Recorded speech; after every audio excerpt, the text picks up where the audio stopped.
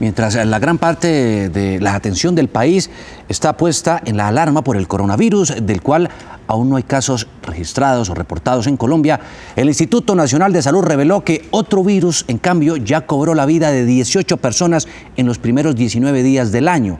Azucena Liévano indagó sobre esta problemática y nos cuenta cuál es el panorama que revela el Instituto Nacional de Salud. Azucena. Juan Diego, hay una alerta de las entidades de salud en todo el país, pues según el último reporte del Instituto Nacional de Salud, en este, en este primer mes del año las muertes por dengue llegan a 18. Varias regiones del país están en alerta y generan preocupación, como por ejemplo Cali, que ya presenta 108 casos probables. Este es el panorama. El país está en una situación de epidemia, según lo confirmó el Instituto Nacional de Salud. Señaló en su informe que en lo corrido del año van 18 muertes probables por dengue, de las cuales cuatro fueron en el Valle del Cauca, dos casos cada uno en el Atlántico, Córdoba, Cundinamarca y Tolima, y con un caso, Cauca, Guainía, Huila, Santander y Sucre. El último muerto probable por dengue se dio en el Huila. A 19 de enero, según el Instituto Nacional de Salud, hay notificados 8.624 casos de dengue, 3.878 sin signos de alarma, 4.634 con signos de alarma y 112 de dengue grave. En este mapa resalta la entidad el grave panorama con el incremento en la mayor parte del territorio nacional en los que se encuentran con especial atención Atlántico, Bolívar, Boyacá, Cundinamarca, Putumayo, Sucre y Tolima. El ministro de Salud reiteró las medidas de prevención. Todo lo que sean recipientes donde se pueda acumular agua sin querer o de manera intencional, sin querer, pedazos de llanta, botellas rotas en los jardines, en los solares, todo eso hay que recogerlo y limpiarlo. Pero también en donde recogemos agua queriendo, bebederos de agua para los animales, baldes, floreros, son muy importantes. Y si pudiera dejar un mensaje que me ha recomendado el equipo técnico insistir, es en la importancia de cepillar las albercas. El panorama es preocupante, según el Instituto Nacional de Salud, pues en los años 90 se presentaban anualmente en promedio 30.000 casos notificados. Durante la última década, este índice se elevó a 50.000. El dengue es una infección que se transmite por mosquitos y esta infección causa síntomas de gripa y evoluciona hasta el dengue grave que es mortal.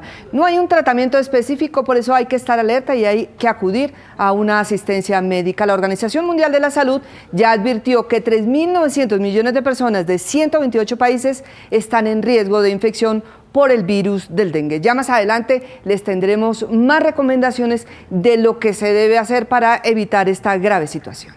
Y es que en temporada de lluvia, Azucena, pues esta es una tendencia en aumento por los pozos de agua que se hacen y que se convierten en foco de reproducción de los mosquitos que transmiten el dengue. Pues el Huila es uno de los primeros cuatro departamentos en el país con mayor número de casos de dengue. Esta región se encuentra en alerta epidemiológica. Belsi Trujillo, ¿qué están haciendo las autoridades de salud?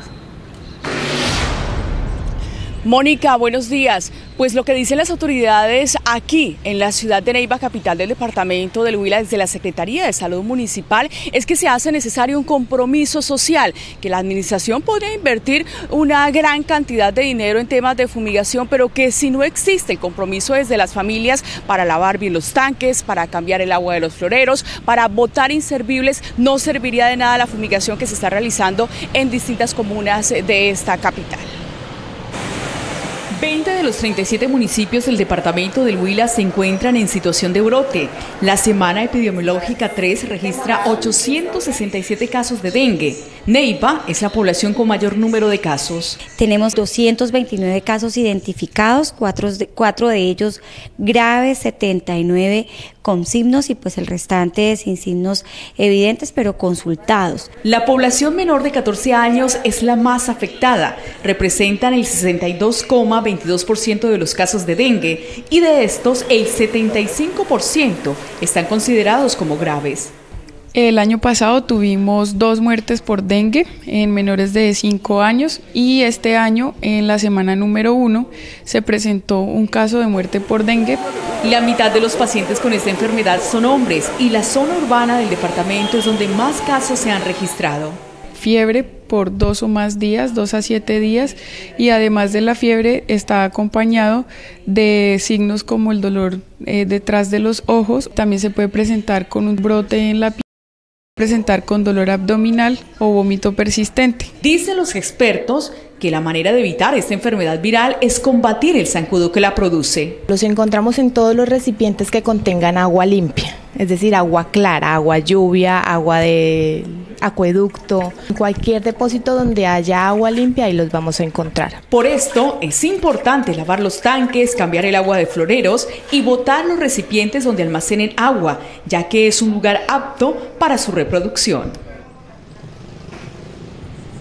A la tercera semana epidemiológica en el departamento de Huila se han registrado dos muertes por dengue. Ya lo veían ustedes, uno en la ciudad de Neiva y el otro corresponde al municipio de Guadalupe. Ambas personas, ambas víctimas menores de edad de dos años y nueve meses. La Secretaría de Salud en la ciudad de Neiva ha mencionado que implementará algunas medidas tales como sancionar o multar a las personas que hagan caso omiso a la limpieza de sus patios, a botar inservibles, porque se hace necesario el compromiso de todos para combatir el mosquito que genera la enfermedad. Desde Neiva, Abel Trujillo, Noticias Caracol.